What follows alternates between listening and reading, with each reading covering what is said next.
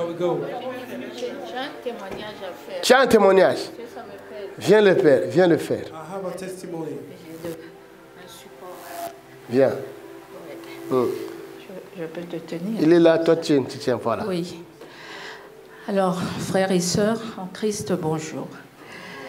Alors, ce témoignage, euh, je tiens à le faire parce que ça me revient tout le temps. Mhm, J'avais reçu le livre du pasteur Tony mhm. Et le lendemain, j'avais décidé de le lire. Je m'étais installée sur la terrasse. Je commençais à lire. Dès que j'ai commencé les premières lignes, le sommeil arrivait. Je dis, mais moi, je veux lire ce livre, pourquoi le sommeil arrive? J'ai lutté, j'ai pas tenu.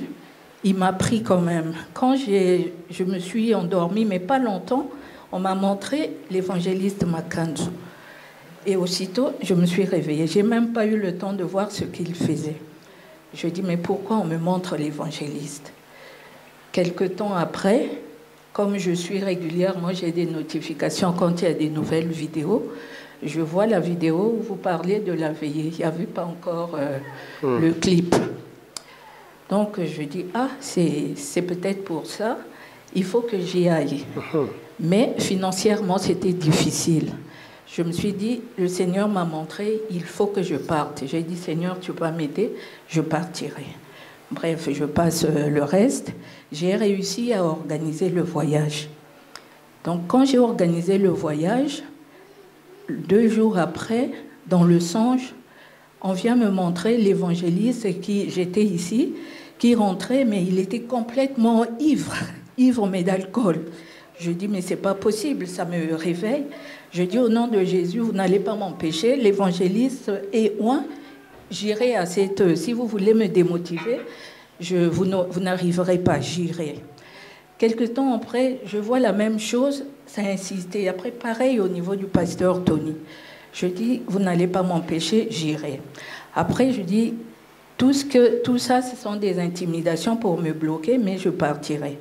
Après, je dis, Seigneur, je vais partir. Depuis que cette maladie a commencé, j'ai un problème au dos qui ne, ne s'arrête pas, ça va, ça vient. Mais pour me montrer ton efficacité, Seigneur, ça fait longtemps que je vais, quand je peux, mais cette fois-ci, quand j'irai, il faut me montrer un signe. Il faut que ce dos soit guéri.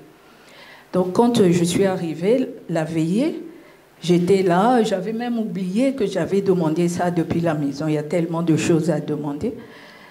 Et j'étais assise là, un moment, je vois l'évangéliste venir là, il faisait des, des gestes comme ça devant moi. Je pensais même pas au dos. Et puis un moment, il vient brutalement, il dit, c'est toi, viens.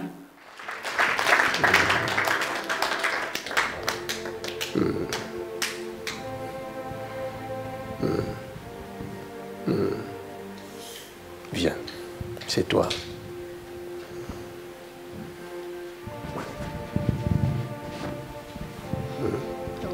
Oui, En fait, euh, depuis, euh, depuis que cette maladie a commencé, j'ai toujours des douleurs, surtout côté gauche, euh, dans le dos.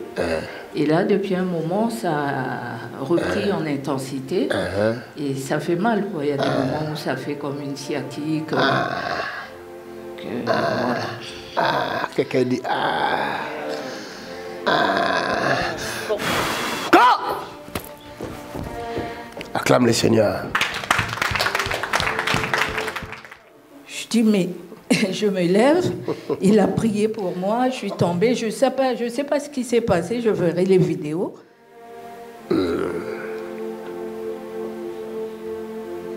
Viens.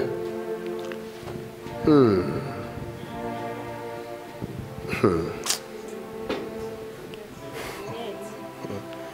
Hmm.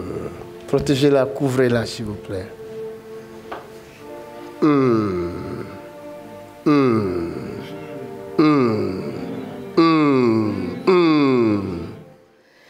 Je dis, mais c'est pas croyable, j'avais demandé que le Seigneur me montre un signe, c'est ce signe-là. Je suis rentrée à la maison, je dis, mon dos est guéri.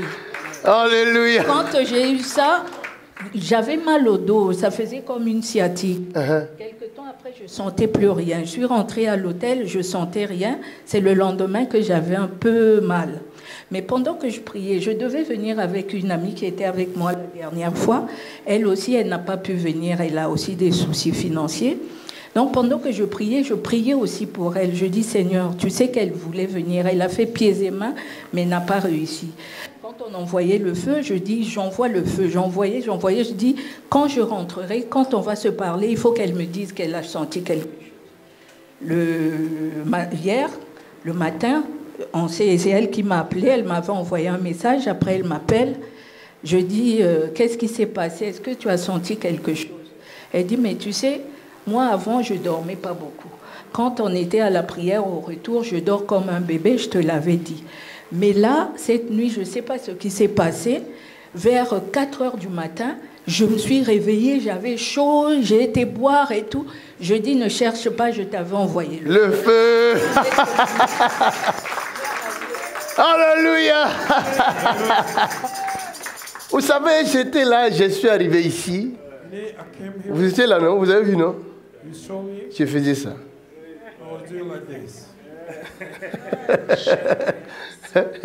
oh, Jesus Christ. Après, je l'ai capté. L'onction du Saint-Esprit. Ce qu'on t'a montré là, c'était l'ivresse du Saint-Esprit. C'est dans le l'Ephésiens 5. Soyez ivres du Saint-Esprit. Dans Actes des Apôtres, chapitre 2, la Bible dit les gens ont cru que les disciples avaient bu du vin ou de liqueur forte. Mais Pierre va leur dire, ces gens que vous voyez ne sont pas ivres de vin, mais ils sont remplis du Saint-Esprit. C'est pourquoi quand vous voyez les rêves, vous devez avoir aussi les discernements des rêves.